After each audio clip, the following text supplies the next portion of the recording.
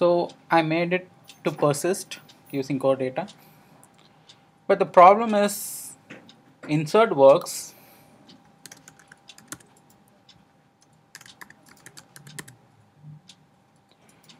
But edit does not work. So some sort of design level changes we have to do because the last example this particular table was populated by a mutable array which was locally edited. Now the data is coming from a core data. And uh, we had to add the option to edit. So let me see how it has been implemented. Um, okay main storyboard. So when plus button or the add button is clicked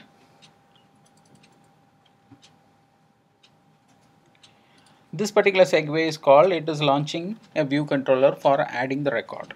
And when I come back when I click save button I come back and uh, I insert the data. I mean reverse unwinding segue is there. That is a manual segue and once I come back uh, I'm going to get a callback over here. Let me see. Okay.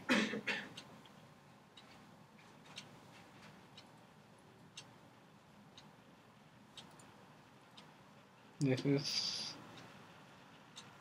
for editing.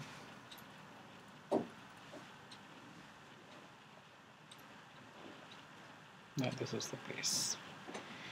We get a call back and this is where we are editing it. But as per the design the same view controller is going to be loaded for editing as well. So first we'll fix the force closing issue. So you see now the application is stuck because of the error so why it is happening?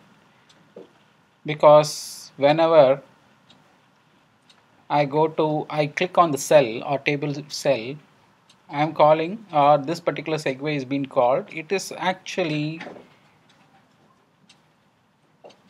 querying something else. Because the student's record no more is having an object key because it doesn't have a NS dictionary. Instead it is uh, having a student entity instance. So this part we have to first modify.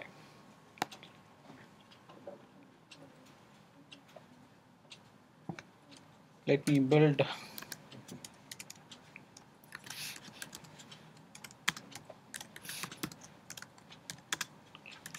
okay. Students record object at the index index is available. So I just got the student entity. Now instead of student object I would like to send the student entity inside. So let me go to the add edit control view controller. Here I need to do a couple of changes. This is NS dictionary. Instead I want uh, student entity object headers needed to make it. Student entity object. So I made it as a student entity object. Now I can't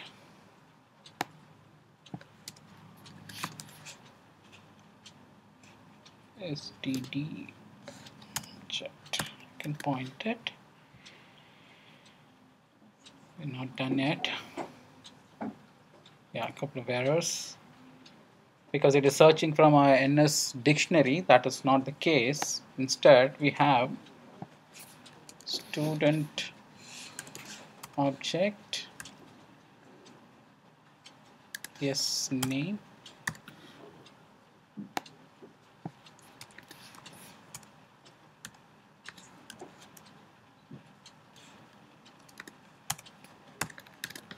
okay value is being populated in this way.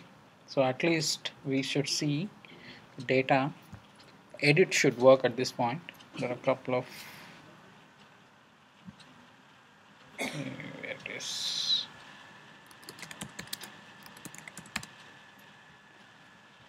Now I see the edit I mean I could take the data to the second view controller at least but not exactly it is edit. I had to add the code for edit so I could click and bring the data over to the second view controller. So I can still add.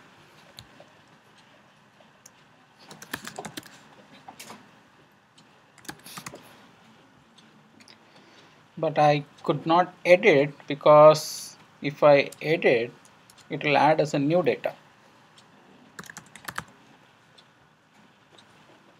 Because I haven't I'm not distinguishing uh, what is edit and add so here I have to do a couple of changes.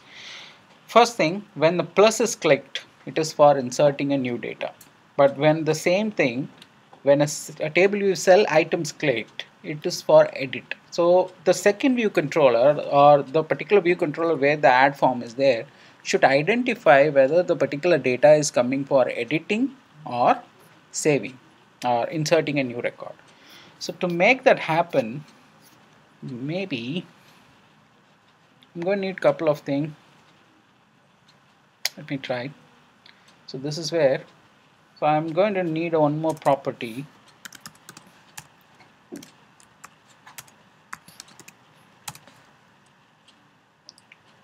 Mm.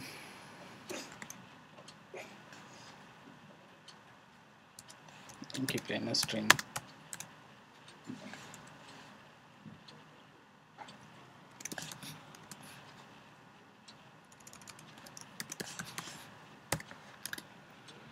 going to keep on in a string. Uh, booleans will we keep.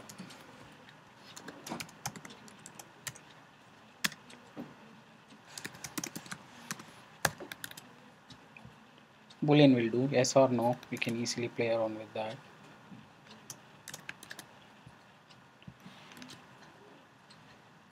What exactly this guy is giving error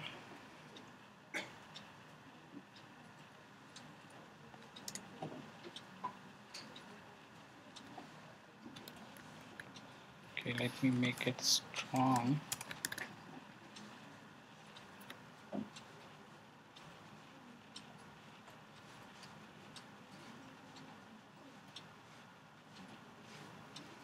Be object type retain or strong should be?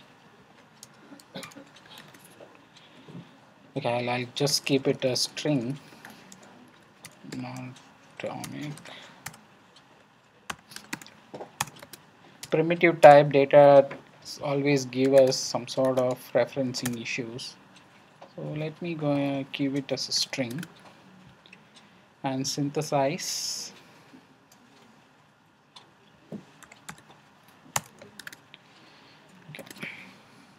Now, in the table view controller,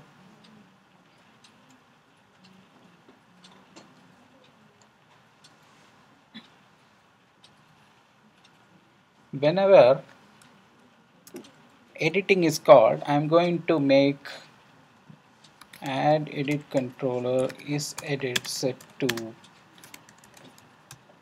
yes. So some just uh, string value. So whenever this is being set it will always consider for the page is going for editing purpose. So here when a reverse segue is called where is the reverse part here.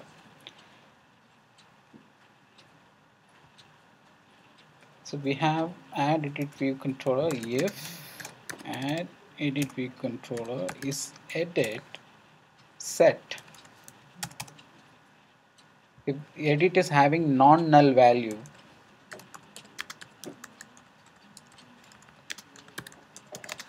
or yes it is for edit otherwise.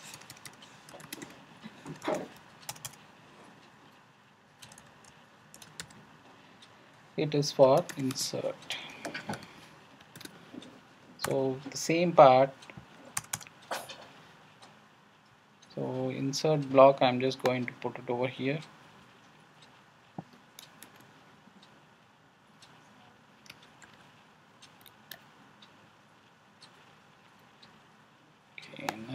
I'll keep it. As a common.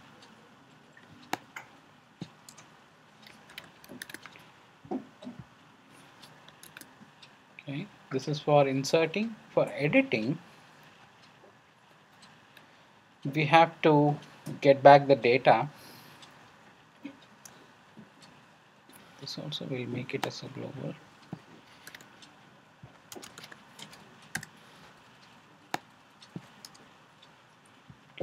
In this case the student entity object would be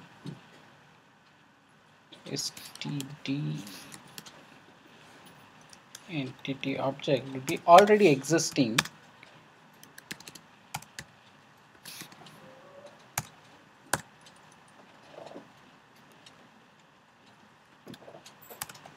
And set the new value. Set yes name edited controller name field text.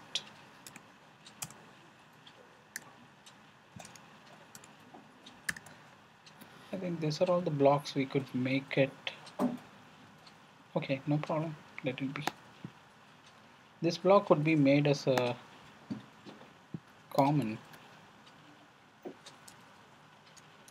We don't need to write one more time only difference the std entity object is retrieved from already existing object or an object is created for insertion. So if edit is uh, I mean the value is having edit some non-null value or s is having mean that object is already existing and that object value is getting changed and finally it is going to be saved. Or otherwise if it is an insert a new insert object will be created and it will set the value and do that. So finally we will reload the table.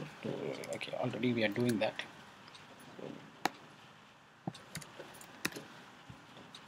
Okay. Let me try now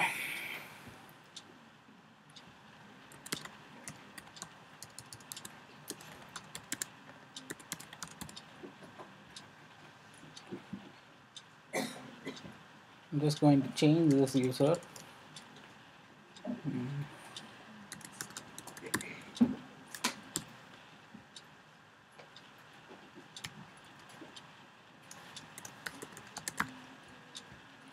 you see that the value is edited. Now the value is not inserting it is just editing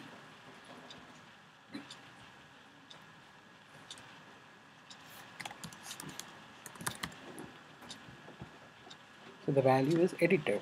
So let us first test the insert is also working.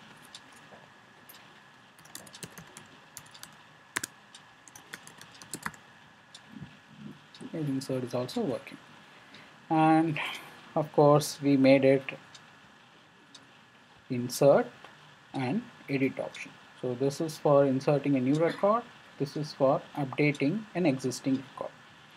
So this particular core data if already existing object is available all you need to modify the values and save it or if an object is for going for insertion create a new instance of std entity or student entity then add a value and insert. So this managed object context, it identifying the record which is already existing or a record is new. It is possible only because this uh, core data or, non-exec, I mean no SQL database internally having some sort of unique identity or maybe some primary key or some sort of keys to identify whether the record is already existing or it is a new record. So for a view controller to identify these particular calls are happening for insertion or edit, I made use of one string object or string property and I'm checking because at this point I'm just declaring a string property. If I do not have, uh, I mean assign any value, naturally it is going to be a null object or nil object. So this particular condition is checking the is edit is a null object or having any value. That's the reason I'm not even checking whether it is equal to s or not. I'll just need to see whether it is a null null value or having any other values assigned. So it's if it is a non-null value mean it is for already existing record or if null is called naturally it is for a new uh, value to be inserted. So this particular uh, design change we made sure the insert as well as uh, edit works. So that's fine. Now we have to delete it. I've already added the delete option. So once I click uh, of course the application is crashing.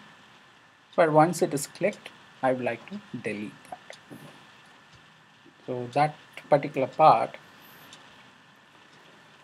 notice we enabled this one set to yes because this will make sure an additional uh, button like delete or edit added to the list view. And this particular part also we had to enable. Remember it is already checking the UI table view editing style for delete mean when a delete button is pressed or any other button like edit or something like that. We only have a delete button so it is making a callback over here so we have to identify which index being called. Maybe we already have an index path so we will be knowing which item is getting clicked for delete. So what I can do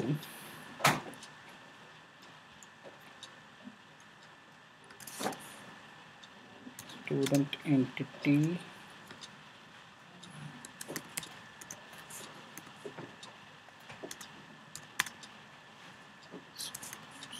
record object at the index from the index path pick the row.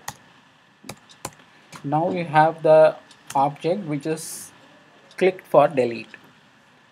So call the we need a ns uh, error object first.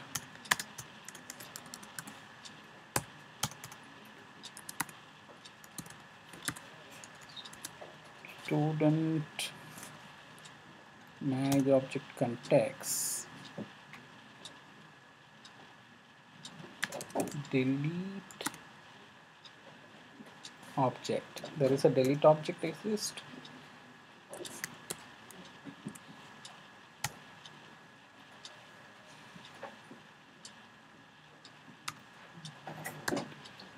Once you assigned it for delete it won't immediately delete. You have to save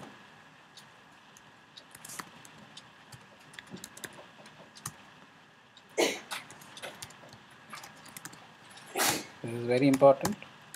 At this point assign for deletion and then finally when you save it that particular record will be removed. And finally reload the student records. So let's see. Whether the delete works or not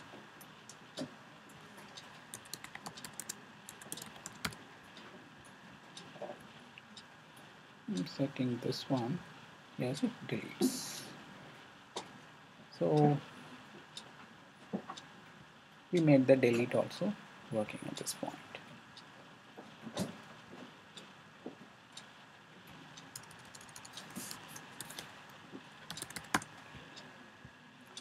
So edit works insert works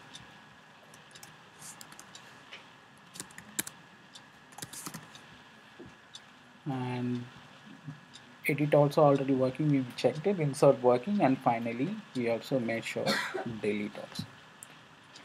So this is in sync with the core data. So the data the changes are permanent. Anytime you close and open your application you will always see the values persisted unmodified. So using core data you can persist a subscriptive value of data, I mean a kind of a table data or core data, a bunch of data. But we still have one more uh, way to save the content, preferential data. So that how to save them. For example, you have some sort of condition set, uh, your individual preference. So that how it can we can save that also we will see. In fact, this login or maybe a registration screen I will add it. That part we will save it in a preferential data instead of core data. So that data storage I'll introduce maybe tomorrow or uh, Monday session. Then we'll be uh, good to know about how the persistent engines work in iOS. Okay, so I'll finish with this.